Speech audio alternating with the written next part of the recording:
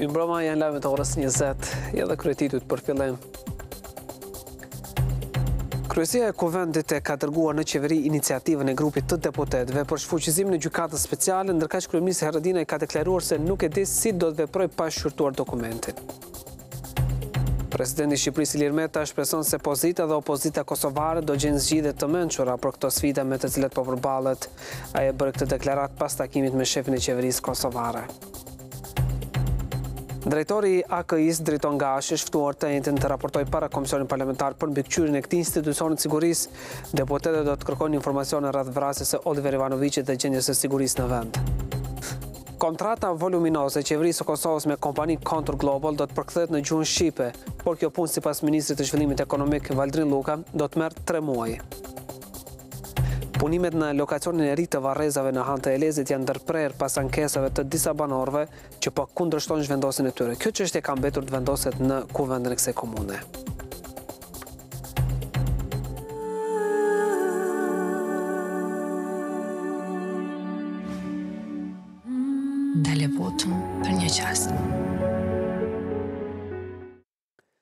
Kryesia e Kuvendit të Kosovës sot arriti që të mbajë mbledhje pas disa dështimeve. Edhe në këtë takim u fol për iniciativën e grupit të deputetëve për shfuqizimin e gjykatës speciale. Por aty u vendos që kjo çështje t'i dërgohet qeverisë.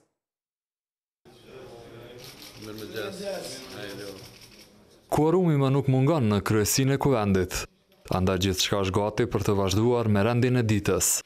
Aty është dhe kërkesa rrafsh një muaj më parë e nënshkruar nga mbi katërdhjetë deputetë të partive në pushtet që thret për zhbërjen e ligjit të Gjykatës Speciale. Sapo nisi të shqyrtohet kjo pikë, shefi i grupit parlamentar i Lidhjes Demokratike Avdullah Hoti braktisi mbledhjen.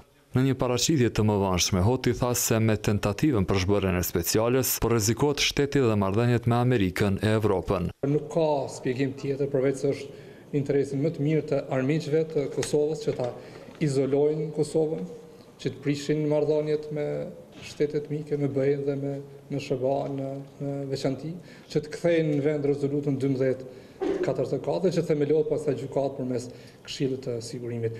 Përkundër kësaj mbledhja e kryesisë mbaroi.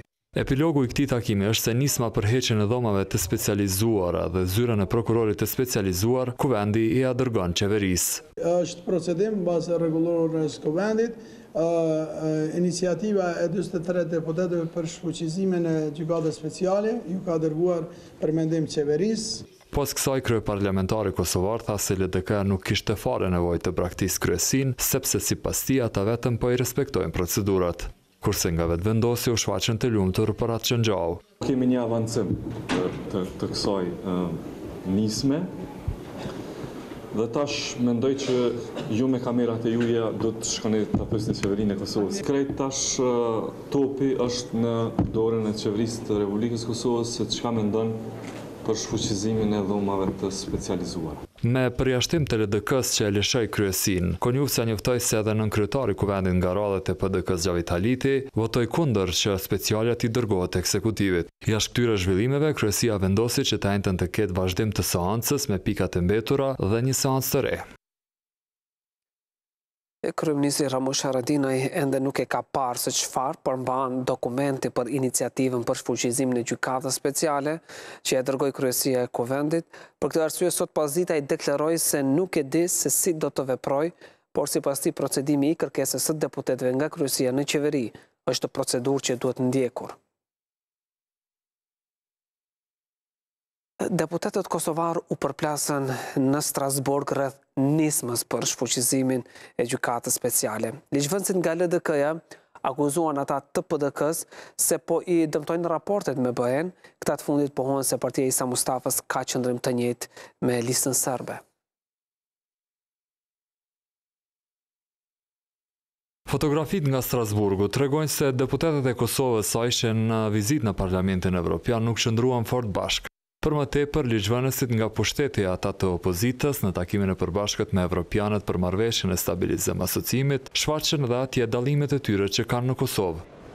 Krejt kishte të bënte me nxjerrjen e konkluzave të përbashkëta Parlament Evropian e Parlament i Kosovës, ku parashihej dhe thirrja për autoritetet në Kosovë të mos veprojnë me zhbërjen e ligjit për Gjykatën Speciale.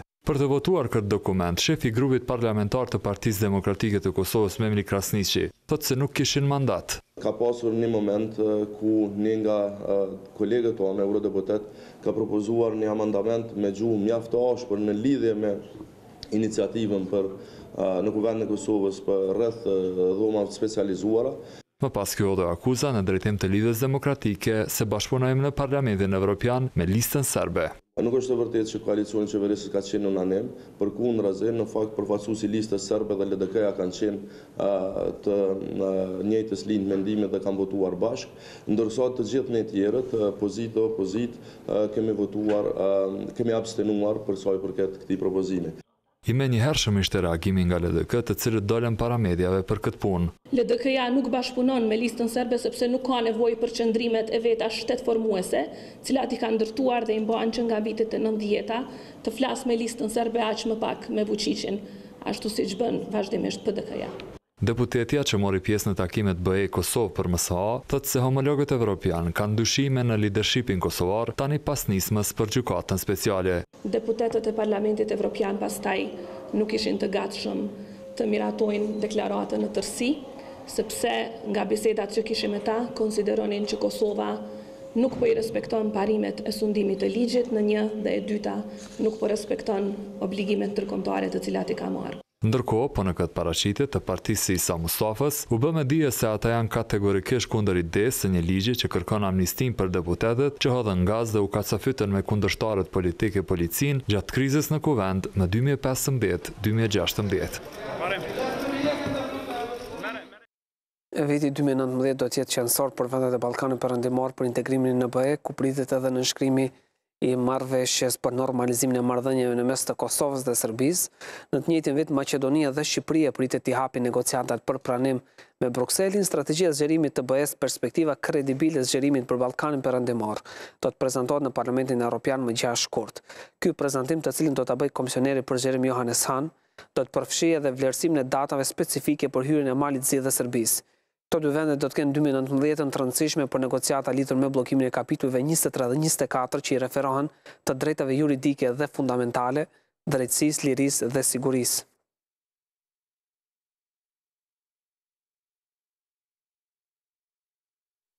Në këtë strategji të zgjerimit të Bashkimit Evropian nuk është përfshirë Kosova.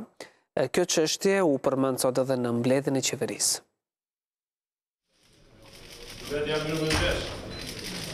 Thuajse i fundit erdhi në mbledhjen e qeverisë, por sapo e hapi këtë takim të ekzekutivit, kryeministri Ramush Haradinaj zuri në gojë Oliver Ivanoviqin e vrarë ditë më parë në Mitrovicë, Ky tha se organet e rendit janë në nivel të detyrës, derisa për vartësit e tij pati një propozim.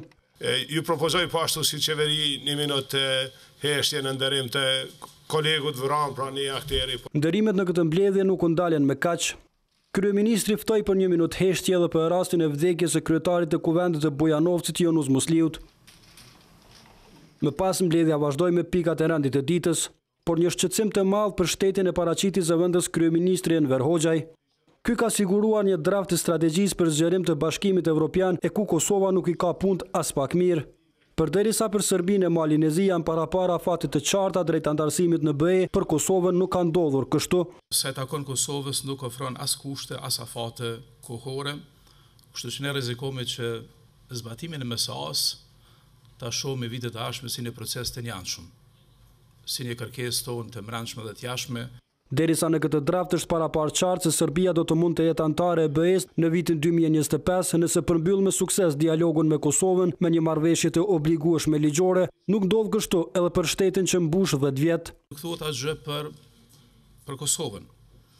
Nëse ne marremi pjesë në dialog dhe nëse ne jemi faktor i paqes dhe i stabilitetit në rajon, i përmbushmi kriteret e mbrendshme, e zbatojmë MSA-në, shtrohet pyetja në çfarë forme do duhet të shpërblemi, me çka shpërblemi.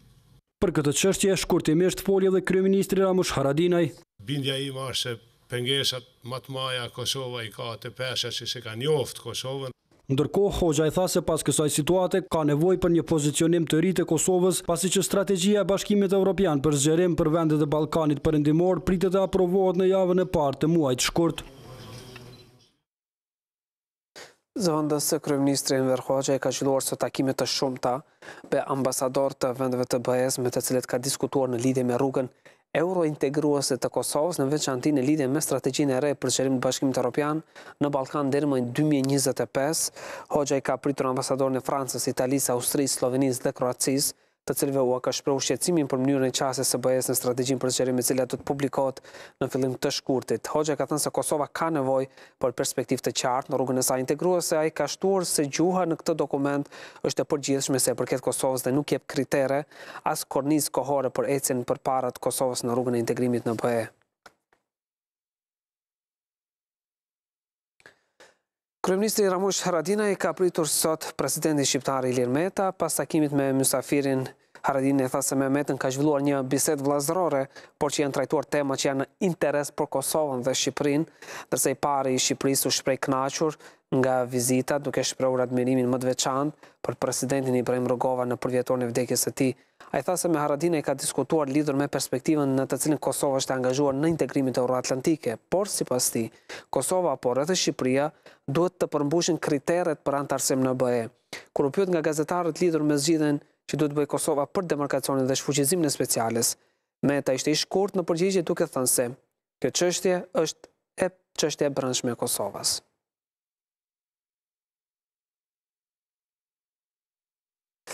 Ministria e Drejtësisë së Kosovës ia ka dërguar përgjigjen Ministrisë së Drejtësisë të Serbisë lidhur me rastin e vrasjes së Oliver Ivanoviqit, Sipas kumtesës së Ministrisë së Drejtësisë së Serbisë, të cilën e transmeton Tanjug, Departamenti i Krimeve të Rënda të Prokurorisë Themelore në Mitrovicë ka shprehur gatishmërinë që Prokurorisë së Beogradit për Krimin e Organizuar të ofrojë të gjithë informacionin që mund të kishte për të kryer një hetim të koordinuar për vrasjen e Oliver Ivanoviqit dhe për të zbuluar kryerësit e atij krimi sa më parë që të jetë e mundur.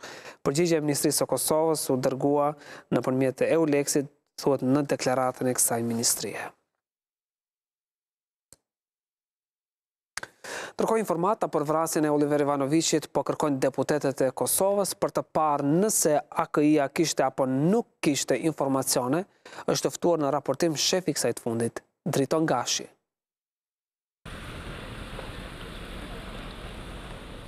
Po bëhen gati një javë nga vrasja e Oliver Ivanoviqit, por organet e hetuesisë ende nuk i kanë rënë në gjurmë kryesit të këtij akti. Në një bisedë telefonike me Klan Kosovën, kryeprokurori i Mitrovicës, Shyqri Syla, tha se deri me tani nuk ka ndonjë të re në këtë proces hetimor. Por për çështjen e kësaj vrasje u diskutua në Prishtinë të hënën. Kjo ndodhi kur Komisioni Parlamentar për mbikëqyrjen e Agjencisë Kosovare të Inteligjencës mbajti mbledhje. Këtu u bë me dije se të enjten para komisionit do të paraqitet kreu i AKI-së Driton Gashi për të raportuar për atë se çfarë po ndodh në veri, por edhe për gjendjen e sigurisë në përgjithësi. Por para se të dëgjojnë këtë raportim anëtarët e këtij komisioni nënshkruan deklaratën e konfidencialitetit. Më pas deputetja Donika Kadaj Bujupi tha se do të analizojnë në detaje se a kishte neglizhencë në rastin e vrasjes së Oliver Ivanoviqit. Në bazë të njohjeve që marrim nga përgjigjet e tyre, atëherë do të sigurohemi se për çfarë bëhet fjalë dhe eventualisht nëse ka pas neglizhencë përkatëse sigurisht që do të kërkojmë llogari. E para këtij komisioni me shumë gjasë do të paraqitet edhe shefi i policisë. Pyetjet të cilat do t'i adresojmë ndaj drejtorit të agjencisë, konsideroj që do të jenë të shtruara një pjesë prej tyre dhe drejtorit të, të policisë të Kosovës. Pra, unë konsideroj që kena pyetje që duhet m'u adresu për zhvillimet e fundit edhe ndaj drejtorit të policisë. Edhe Komisioni për Punë të Brendshme e Siguri të martën do të analizojë se a ka nevojë të thirren në raportim Ministri i Punëve të Brendshme e Drejtori i Policisë. Por Haxhi Shala tha se gjendja e sigurisë në vend është stabile.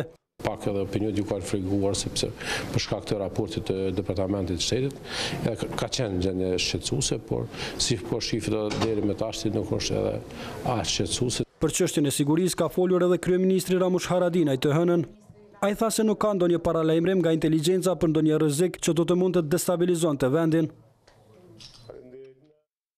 Radhave të ndjekjes së të dyshuarve iu shtuan edhe njëzet e një prokurorë të rinj, sot Presidenti Hashim Thaçi në mbështetje të kompetencave kushtetuese dhe ligjore në pajtim me propozimin e Këshillit Prokurorial me dekret ka emëruar sot njëzet e një prokurorë të rinj të shtetit nëpër Prokuroritë Themelore të Kosovës. Prokurorët e emëruar dhanë betimin para Presidentit me ç'rast u zotuan se do të kryejnë detyrën e prokurorit me nder, përgjegjësi dhe pa anshmëri, kreu i shtetit duke i uruar ata për detyrën e re, ka kërkuar që të kryejnë këtë detyrë me përgjegjësi të lartë. Thaçi shtoi se tani kur jemi në prag të dhjetë vjetorit të pavarësisë së vendit, duhet angazhim i madh në forcimin e sundimit të ligjit. Gjykata e Apelit të Kosovës ka marrë njoftimin se Këshilli Gjyqësor i është përgjigjur pozitivisht kërkesës së kryetarit Hasan Shala për shtimin e numrit të gjyqtarëve në këtë institucion. Siç raportohet përmes një komunikate për medie, Këshilli Gjyqësor ka marrë vendim që të shpallë konkurs për dhjetë gjyqtarë. Tutje thuhet se Gjykata e Apelit si gjykata e shkallës së dytë në vazhdimësi ka qenë e ngarkuar me një numër jashtëzakonisht të madh të lëndëve, ku vetëm në vitin dy mijë e shtatëmbëdhjetë ka pasur në punë mbi njëzet e katër mijë të tilla, prej të cilave njëmbëdhjetë mijë të trashëguara nga vitet paraprake. Sipas Shalës, nëse ky numër pjesëtohet me atë të gjyqtarëve që janë tridhjetë e pesë, i bie që secili nga ta ka pasur në sirtar rreth shtatëqind lëndë. Me të dhëna sot janë marrë në Vetëvendosje, ata bënë publike numrin e pjesëmarrjes në zgjedhjet për kryetar, ku u tha se kanë dalë rreth tridhjetë e tre për qind e anëtarësisë. Nga tridhjetë e një mijë anëtarë, sa thotë se i ka Lëvizja Vetëvendosje, një e treta e tyre e zgjodhën Albin Kurtin kryetar të ri. Ndërkaq, njëzet mijë të tjerë nuk votuan fare në zgjedhjet e së dielës për kreun e këtij subjekti politik. Megjithatë, kjo pjesëmarrje në votime po konsiderohet si më e larta deri më tani. Numri i anëtarëve që kanë votuar dje në këto zgjedhje është rritur thuajse me njëqind për qind. Në procesin e votimit të mbajtur dje, të gjithë në një ditë, kanë marrë pjesë dhjetë mijë e gjashtëqind e gjashtë anëtarë nga gjithsejtë tridhjetë e një mijë e treqind e pesëdhjetë anëtarë. Përqindja pjesëmarrës në votimin e djeshëm është tridhjetë e tre pikë tetëdhjetë e tre për qind. Krahasuar me zgjedhjet para këtyre, sipas Rrustemit ka rritje edhe të anëtarësisë. Në zgjedhjet për kryetar të vitit dy mijë e pesëmbëdhjetë kanë marrë pjesë në votim pesë mijë e treqind e pesëdhjetë anëtarë nga nëntëmbëdhjetë mijë e pesëqind e shtatëdhjetë e gjashtë anëtarë në total. Rrustemi nuk deshi të komentojë nëse kanë ndikuar dorëheqjet e zyrtarëve të lartë të partisë në pjesëmarrjen në zgjedhje. E procesi zgjedhor i së dielës ku Kurti fitoi nëntëdhjetë e tetë pikë tetëdhjetë e dy për qind të votave sipas tij është më i miri në të cilin ka kaluar Vetëvendosje. Zgjedhjet e djeshme të këtij viti për kryetar të Lëvizjes Vetëvendosje kanë përmirësime të dukshme në raport me vitin dy mijë e pesëmbëdhjetë sa i përket menaxhimit të procesit dhe pjesëmarrjes. Në zgjedhjet e vitit dy mijë e pesëmbëdhjetë, Visar Ymeri, njëjtë sikur Kurti, ishte kandidati i vetëm për të parin e partisë, ndërsa që kishte marrë nëntëdhjetë e gjashtë pikë dyzet e dy për qind të votave. Zgjedhjet e para të brendshme në Vetëvendosje u mbajtën në vitin dy mijë e njëmbëdhjetë. Vizitat më të shpeshta kryeministri i vendit i ka në KEK. Sot Ramush Haradinaj u interesua për prodhimin e rrymës edhe për reduktimet, por nga Obiliqi nuk u kthye pa e takuar Xhafer Gashin dhe qytetarët e kësaj ane.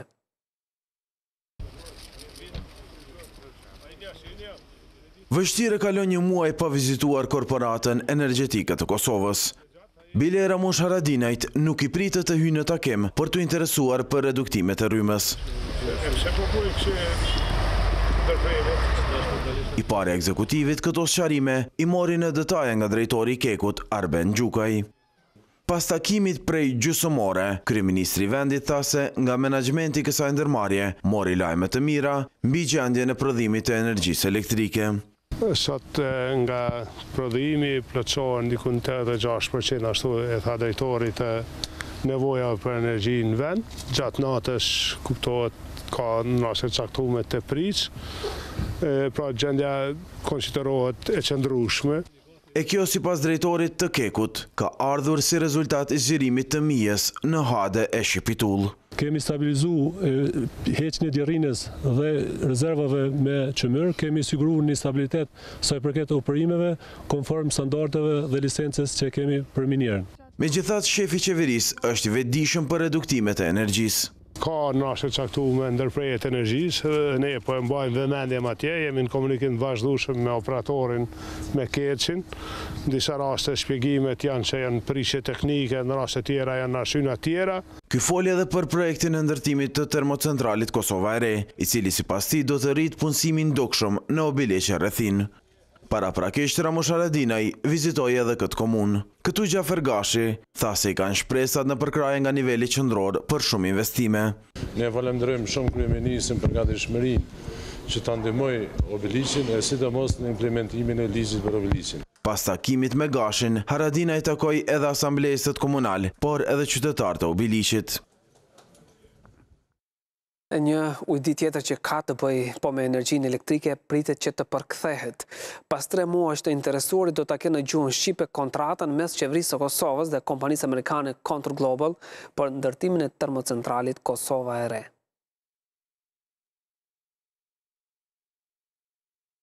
Kjo marrëveshje prej më shumë se një mijë faqesh pritet të përkthehet edhe në gjuhën shqipe. E për këtë nevojiten jo më pak se tre muaj. Përkthimin e ujdisë në mes Qeverisë së Kosovës dhe kompanisë amerikane Contour Global për ndërtimin e termocentralit Kosova e Re, pritet ta bëjnë punëtorët e ministrisë që drejton Valdrin Lluka. Kontrata siç e dini ka mbi një mijë faqe dhe përkthimi i saj vetëm ka filluar, mirëpo mund të mund të merr kohë rreth tre muaj kohë. Do të bëhet nga zyra jonë që është për për menaxhimin e projektit dhe kosto nuk e di, normalisht nuk e di në këtë moment, por nuk është ndonjë kosto besoj që krahasim me madhësinë e kontratës nuk është ndonjë kosto që e madhe se që ia vlen të përmendet. Gjatë një takimi që pati me drejtuesit e Odës Ekonomike të Kosovës, ky foli edhe për të mira që do të sjellë kjo kontratë për bizneset vendore. Është hapi i parë i duhur për rregullimin e sektorit energjetik si një ndër mekanizmat kryesorë të zhvillimit të vendit dhe sidomos të sektorit të prodhimit, ku e dimë shumë mirë se që kemi mbi treqind milionë euro humbje vjetore nga sektori privat për arsye të ndërprerjeve të paplanifikuara të energjisë dhe mos qasjes në energji stabile në vend. E i pari i odës ekonomike pati një kërkesë. Për ekonomi vërtet duhet të bëhet më tepër sa të flitet dhe në qoftë se mendojnë që këto projekte madhore ta kenë dhe ta gjenerojnë efektin e pritur, duhet në rend të parë të kemi stabilitet politik. Kontrata për ndërtimin e Termocentralit Kosova e Re u nënshkrua me njëzet dhjetor të vitit të kaluar. Ai parashikohet që të vihet në punë në vitin dy mijë e njëzet e tre, ndërsa shteti i Kosovës do ta marrë në pronësi pas njëzet vjetësh. Në Gjilan, dy kompani konkurruan në një tender të komunës për rregullimin e rrugëve, pastrimin e lumenjve dhe largimin e deponive të egra. Mirëpo në dokumentin tenderues të dy kompanive figuroi i njëjti inxhinier. Tani vendimin se kush do të jetë fitues i këtij tenderi pritet që ta merr komuna. Kompanisë Elbau dhe asaj Zuka Komerc nga Gjilani u ka dalë një telash i pazakonshëm. E këtë e kuptuan kur aplikuan në qershor të vitit të kaluar në një tender të komunës për rregullimin e rrugëve, pastrimin e lumenjve dhe largimin e deponimeve të egra. Në dokumentacion u figuronte të dy kompanive inxhinieri i njëjtë. Fahredin Halili, që paraprakisht punoi te kompania Zuka, tani punon për Elbau. Inxhinieri në fjalë punon në kompaninë tonë nga data të parin të katërtin dy mijë e shtatëmbëdhjetë edhe vazhdo të punojë. Gjatë qasjes në dokumente kam hasur se një kompani tjetër përdor stafin tim. Menaxhuesit e Elbaut thonë se fillimisht këtyre u doli emri si fitues e më pas ndërroi gjithçka. Për këtë dhe për inxhinierin e tyre u ankuan në organin shqyrtues të prokurimit, të cilët vendimin e komunës e kthyen në rishqyrtim. Inxhinieri në fjalë i ka prezantuar komunës me datën njëzet e tetë nëntor dy mijë e shtatëmbëdhjetë një njoftim se ku punon, ndërsa komuna nuk e ka marrë parasysh këtë njoftim. Komuna fituese shpalli kompaninë Zuka, sipas ofertës më të ulët që ka bërë. Vetë pronari i kësaj kompanie thotë se inxhinieri Halili ka punuar në këtë kompani në kohën e hapjes së tenderit. Inxhinieri në fjalë ka qenë nga viti 2019 si punëtor në Zuka Komerc, të cilin mund ta dëshmojmë edhe me dokumentin që kam pagu kontributet në administratën tatimore të Kosovës. Kurse kompania në fjalë, qysh e ka interpretu, ka bo kontratë nga muji mars dikun. Ky thotë se pasi ka dëgjuar për këtë, ia ka shkëputur kontratën në muajin e tetë. Që unë nuk kam qenë dijeni, ka bo një marrëveshje të njëanshme që unë s'e kam ditë. E kam thirr shumë herë në telefon, nuk m'u ka përgjigj inxhinieri në fjalë dhe ka ndodh kjo mosmarrëveshja. Vetë Fahredin Halili nuk ka pranuar të flet para kamerës, por nëpërmjet telefonit konfirmoi se që nga muaji prill punon për Elbaun dhe nuk e din se si i është përdorur diploma. Ndërsa drejtori i prokurimit publik në Gjilan, Salih Kqiku, ka thënë se fitues nuk ka dalë Elbau asnjëherë, por Zuka pasi ka bërë ofertën më të lirë dhe ka ofruar dokumentin ku i ka kryer kontributet e inxhinierit. Vendimi se kush është fitues i këtij tenderi pritet të merret brenda javës nga Komuna e Gjilanit. Në Han të Elezit ka telashe me caktimin e një vendi për varreza, atje përfundimisht vendimin pritet që ta merr Kuvendi Komunal. Punimet në lokacionin e ri të varrezave në lagjen e Vilve në Han të Elezit mbetën në gjysmë, e për vazhdimin ose jo të tyre mbetet të vendosë kuvendi komunal në mbledhjen që mbahet të enjten. Nevoja për thirrjen e seancës doli pas kundërshtimit të disa banorëve të kësaj lagjeje. Sipas tyre, ata nuk janë kundër autostradës që kalon nëpër këtë pjesë e që detyroi këtë zhvendosje të varreve, por hallin e kanë tek mirëqenia e familjeve të tyre. Pesëdhjetë metra i kam afër. Rinia kur të vijnë mas meje kanë me u anku ata me thonë që ku ka kon ai baba jem që i ka leju këta vorre këtu me kon. Kundër është edhe Shukri Curri. Anipse vendi i ri i varrezave nuk është afër shtëpisë së tij, ai i frikësohet vlerës së tokës në këtë zonë. Hallin e currëve e ka dhe Remzi Vila, i cili së fundmi ka investuar një mijë e njëqind euro në mbjelljen e fidanëve të arrës në tokën e tij që është karshi me lokacionin e varrezave të reja. Po me mbrojt pronën teme, do me thonë që kam të garantume me kushtetutë, me Koran e me me me me çka do të jetë. Ë, mas disa vite bama këtu unë s'jam, po djali jem, do me thonë me ma degradu. pasurinë nuk e lejoj. Ky po thotë se Komuna e Hanit të Elezit ka toka tjera komunale ku do të mund të caktohej vendi për varreza, por një gjë të tillë e hodhi poshtë kryetari i kësaj të fundit, Rufki Suma. Ai tha se punimet në vendin e quajtur Në Qafcë janë ndërprerë shkaku i këtyre ankesave të banorëve, ani se nëntëdhjetë e pesë për qind e tyre janë për lokacionin e ri dhe tash duhet të pritet vendimi në Kuvendin Komunal. Në moment kur kem pas ankesa, kem kërku që t'ndërprehet kjo procedurë deri në marrjen e vendimit të Kuvendit për shkak se edhe ligji e përcakton që Kuvendi merr vendim për lokacionin e varrezave të qytetit. Edhe Musa Vila që e drejton Bashkësinë Islame në këtë qytet, por edhe Visar Vila, djali i pronarit të tokës që është caktuar për shpronësim, nëpërmjet telefonit i thanë Klanit se prej korrikut të vitit të kaluar kanë mbajtur takime të rregullta me të gjithë banorët e lagjes për ca ktimin e lokacionit të ri të varrezave dhe se nëntëdhjetë e pesë për qind e tyre janë deklaruar pro lokacionit të ri, asnjë banor përveç tre ankuesve nuk ka pranuar të flasë për këtë çështje. Policia në zbatim të urdhrit operativ Stop drogave në shkolla gjatë javës së kaluar në tërë territorin e vendit ka realizuar patrullime dhe vizita nëpër shkolla dhe rreth tyre dhe ka zhvilluar ligjërata dhe ka arrestuar persona të dyshuar dhe ka konfiskuar lëndë narkotike. Aktivitetet policore që janë zhvilluar gjatë javës në kuadër të realizimit të detyrave që dalin nga Urdhri Operativ Stop drogave në shkolla kanë rezultuar me arrestimin e 26 personave të dyshuar, gjithashtu janë konfiskuar 62 gram marihuanë dhe 0.5 gram kokainë dhe një armë. Në spitalin e gjinekologjisë në QKUK ka nevojë për investime të mëdha. Këtë e thonë edhe drejtuesit e kësaj qendre, por edhe vetë pacientët e këto investime pritet që të bëhen përfundimisht gjatë këtij viti.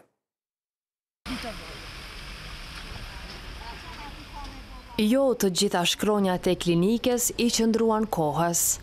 Mos intervenimi në rregullimin e tyre në klinikën e gjinekologjisë po shkakton habi tek ata që për herë të parë kanë punë në këtë vend. Gjithë si pacientët si vizitorët me ditë cila klinika është e gjinekologjisë, jo me pas ngecje në shkrim.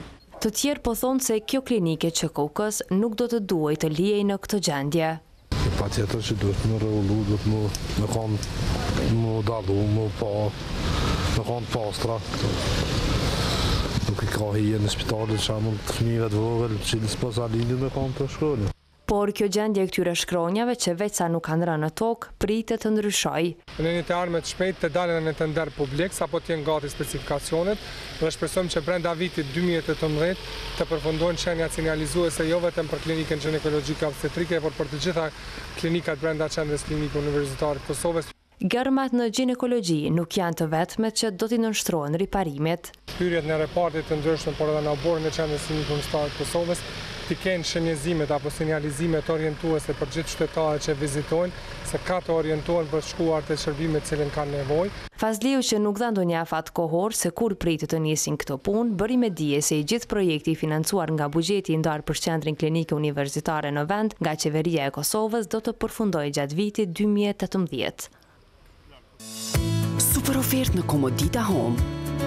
Të gjithë dyshekët Komodita me 50% zbritje. Komodita Home, ndjehu komod. Edhe njëherë dy nga titujt. Kryesia e Kuvendit e ka dërguar në qeveri iniciativën e grupit të deputetëve për shfuqizimin e gjykatës speciale, ndërkaq kryeministri Haradinaj ka deklaruar se nuk e di se si do të veprojë pa shqyrtuar dokumentin.